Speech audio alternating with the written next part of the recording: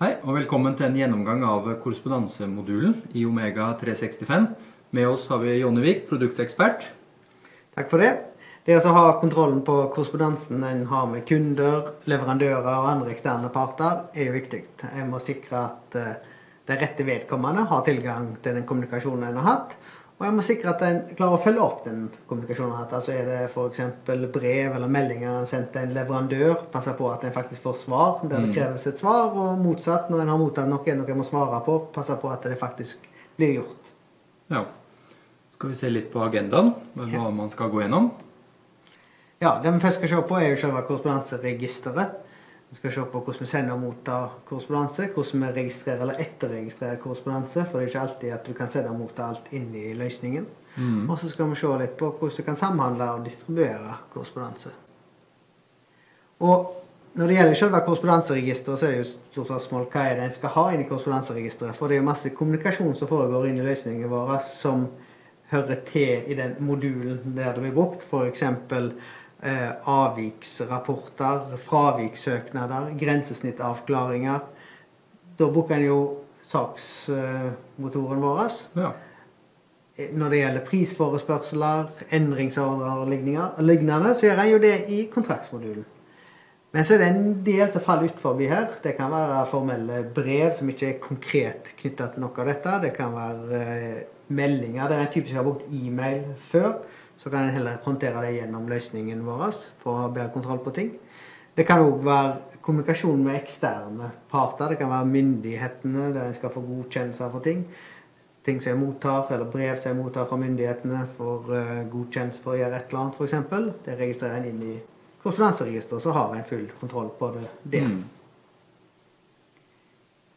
Ok, La oss ta en liten kikk på selve korrespondanseregisteret. Det finner en i menyen under 'Dokument'. Og når du er inne i korrespondanseregisteret, den første kolonna er korrespondansetråd. Hvis det er brev eller meldinger som er i samme tråd, så vil det få samme ID her. Altså hvis det er et svar på en melding du har sendt, så vil det få samme ID som den opprinnelige meldingen. Eh, og så har du en ID som er en unik ID for hver enkel korrespondanse. Så svaret vil få en ny ID i forhold til den opprinnelige meldingen som ble sendt ut. Så har du tittelen, et dokumentnummer. Det blir da generert opp basert på de reglene som en har satt opp for eh, korrespondansedokumenttypen en har brukt. Så her i dette tilfellet så er det ME som er dokumenttypen, avsenderen eller eh, opphavet, mottakeren og så et sekvensnummer. Dette kan jeg jo sette opp forskjellig fra kunde til kunde, eventuelt også fra prosjekt til prosjekt. Ja. Så har en da opphavet, hvem var det som var mottakeren? Statusen, om det er utgitt eller sendt. Og eventuelt her har vi et utkast, f.eks. Så den er ikke sendt ennå. Så har en bedt om at en får et svar innen en gitt dato. Her vil en se når en faktisk har fått eh, svaret. Og så er det hvem det er oppretta av, og når det ble oppretta, eventuelt oppdatert. Og hvis vi går inn på en eh, korrespondanse så ser vi jo selve teksten her. I dette tilfellet så valgte vi at det skulle være en HTML. Det kan jo være et eh, Word-dokument f.eks. som en eh, sender, type brev. Men det kan òg være tekst som vi skriver rett inn i, i løsningen. Um, så ser en um, under innstillinger de forskjellige attributtene som en kan sette på, et, uh, på en korrespondanse. Her har en da muligheten til å knytte det opp på samme måte som med andre dokumenter til objekthierarkiet. Så en kan ha knytta bygning, eh, rom etc. hvis en ønsker det. Så har en korrespondansetråden, så det er da de svarene som en har fått eh, fra denne meldingen. Eh, så kan en hoppe tilbake til den, f.eks. Gå rett på svaret som en fikk. Hvis vi går inn i den her, så hopper vi tilbake igjen. Her har vi distribusjon som en har gjort. Det skal vi komme litt tilbake til på. Så la oss ta en kikk på hvordan en sender og mottar korrespondanseløsningen vår. Det kan jo være brev, det kan være meldinger som du sender. Fungerer litt på samme måte som e-post, bare at der har du jo mer kontroll på ting gjennom eh, løsningen vår. Her kan du mm. distribuere, gi tilganger etc. Da er vi inne i korrespondanseregisteret, pålogga som Kari prosjektleder. Og her ser jeg at har et, eh, eller en melding som ikke er sendt ennå. Status er utkast. Klikker på den. Og dette er skrevet i HTML-format, så jeg kan gå inn her og redigere direkte. Eh, for eksempel. Sjekker inn igjen den. Dette, her redigerer du direkte i løsningen. Ja. Skriver meldingen med, Ja. og link direkte til et dokument også inn i Omega 365. Stemmer. Eh, Dersom dette var eh, Det kunne vært en skann av et fysisk brev Ja, eller en annen Word-fil ja. Som har vært lasta opp. eh, stemmer det. Så eh, denne er da nå klar til sending. Jeg trykker 'send utgi'. Den skal til Nett Og nå vil eh, brukerne som har tilgang på nettsecurity-sida, få tilgang til dette dokumentet. Ja, og gjerne noe eh, melding som er sendt til de. Ja. Eh, De som har valgt å abonnere på mm, meldinger om korrespondanse, de vil da få en melding om at nå er det mottatt en korrespondanse. ja. Og I dette tilfellet så gjelder det da Anders Pentester, som jeg går inn som vedkommende bruker, tar en oppfrisking av korrespondanseregisteret og ser at her har vi fått uh, en melding.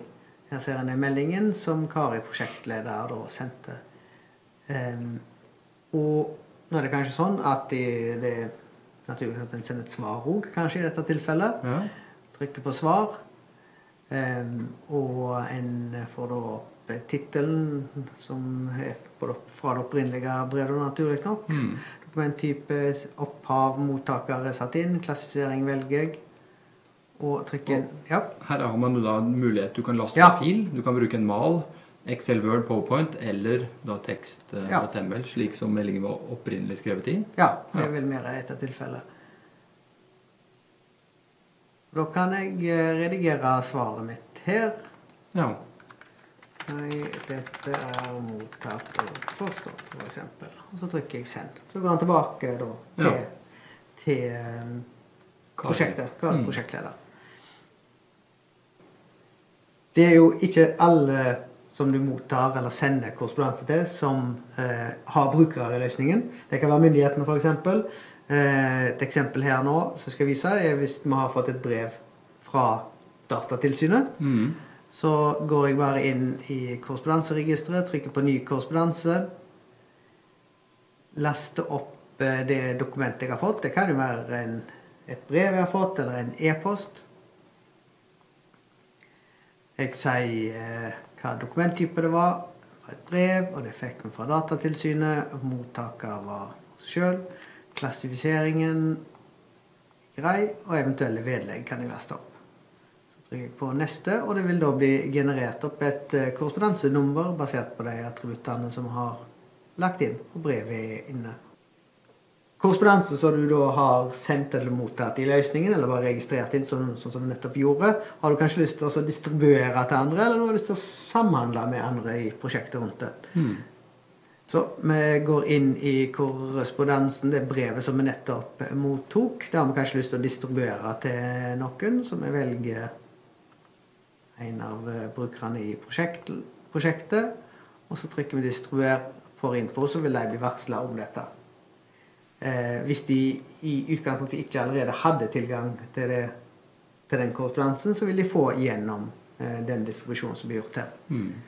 En kan òg distribuere til org-enheter, så hvis en har lyst til å få dette distribuert videre f.eks. til Nettsecurity, så kan eh, en gjøre det òg. Og de vil eh, få da tilgang gjennom eh, korrespondanseregisteret hos deg. Ja. Det er òg mulig å samhandle. Jeg kan legge inn en kommentar her, f.eks. Eh, og denne. Og tildele den til én. Så vil jeg få muligheten til å gå inn her og legge inn et svar om at det er gjort, f.eks. En kan òg koble til eksisterende saker, eller du kan opprette en ny sak. Mm. Dette var nå en gjennomgang av korrespondansemodulen i Omega 365.